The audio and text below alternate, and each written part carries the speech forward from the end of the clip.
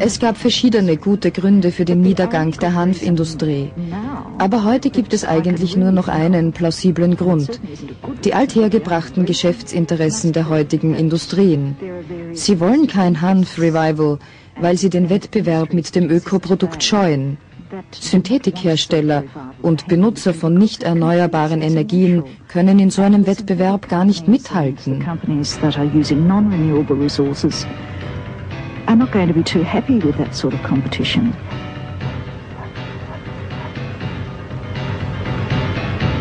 Einige meinen, dass es vor allem kommerzielle Interessen waren, die zusammen mit der allgemeinen Angst vor Drogen zum Verbot der Pflanze führten.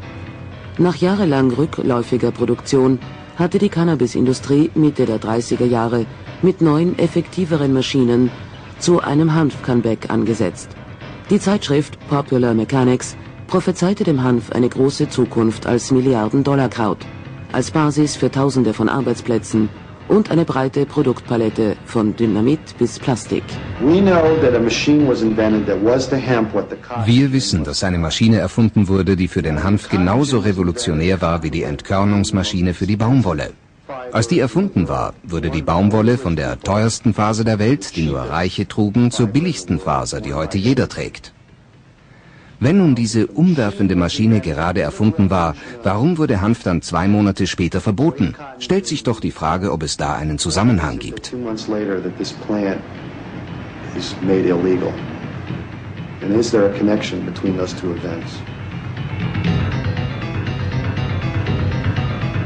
Manche sehen da eine klare Verbindung. Zu dieser Zeit machte der Chemiegigant Dupont das große Geschäft mit Chemikalien zur Papierherstellung aus Holz.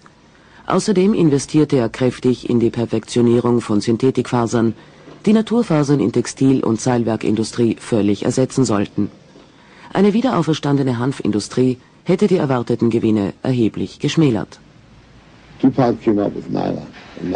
Dupont kam mit Nylon heraus und Nylon wurde eine große Sache. Sie haben alles daraus hergestellt. Verkauft haben sie es als synthetischen Hanf und den gab es nur bei Dupont. Sie hatten das Weltmonopol für den Stoff und die Welt liebte Nylon. Schaut euch das an, Mädels. Nylon. Tausende Spulen Nylongarn und sie werden alle zu Strümpfen. Die Stricknadeln rasen Tag und Nacht. Gentlemen, habt ihr jemals ein schöneres Lächeln gesehen? Gentlemen, have you ever seen a lovelier uh, smile?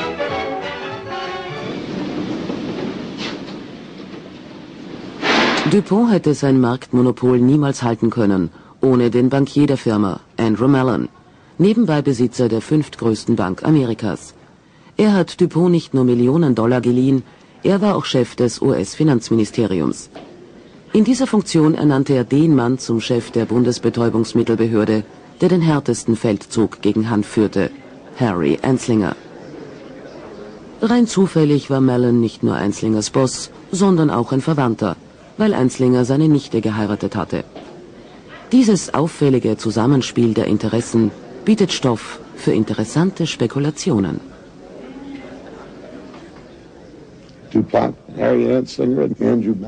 Ich kann diese Leute regelrecht hören, wie sie sagen, Mensch, lasst uns Gesetze gegen Marihuana machen. Ich meine, wenn die nicht gewusst haben, wer ihr Hauptkonkurrent ist und wer garantiert keine Dupont-Chemikalien kaufen würde, dann wären sie ziemlich beschränkt gewesen. So blöd, dass sie eine absolute Blamage auf jeder Vorstandssitzung gewesen wären. Also haben sie die Konkurrenz ausgeschaltet. Und das war der Hanf.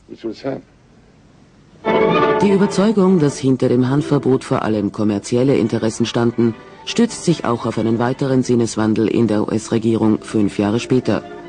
Während des Zweiten Weltkriegs, als die Nylonindustrie noch in den Kinderschuhen steckte, beklagte Amerika plötzlich einen akuten Mangel an Tauwerk. Und die Regierung rief Farmer lautstark zum Anbau des gerade erst dämonisierten Hanfs auf.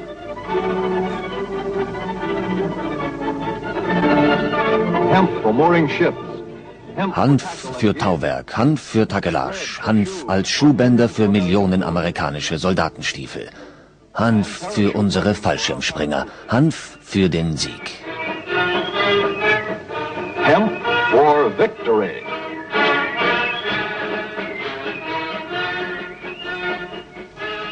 Bei Kriegsende wurde Hanf nicht mehr gebraucht.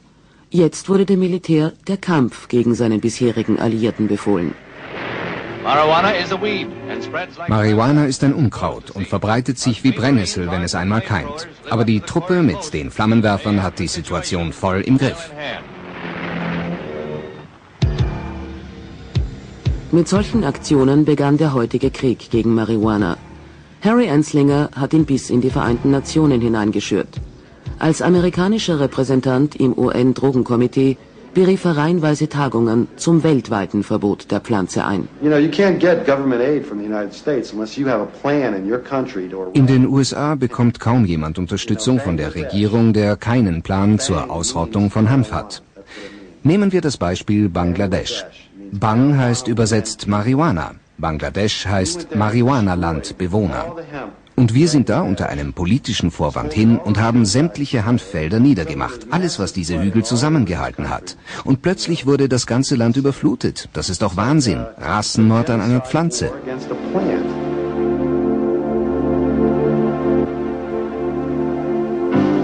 Das Verbot hat Marihuana per Gramm teurer als Gold gemacht.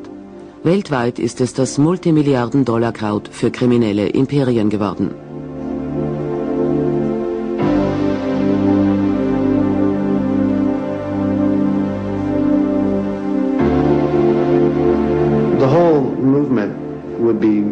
Die ganze Szene wäre überglücklich, wenn wir THC-freien Hanf und Marihuana als zwei verschiedene Sachen sehen könnten.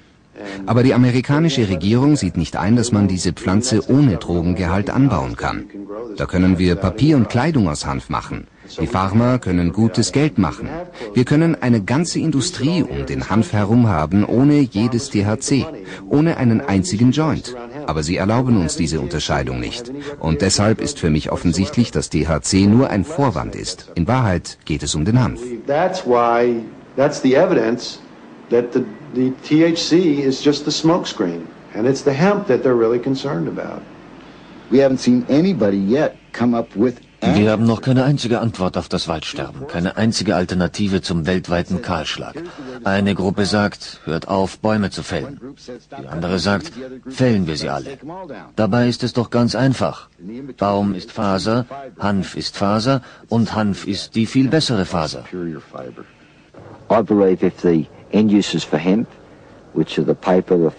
Also wenn Hanfprodukte wie Papier, Faser und Ethanol vernünftig vermarktet werden, dann sehe ich Cannabis klar als das Milliarden-Dollar-Kraut für die Jahrtausendwende.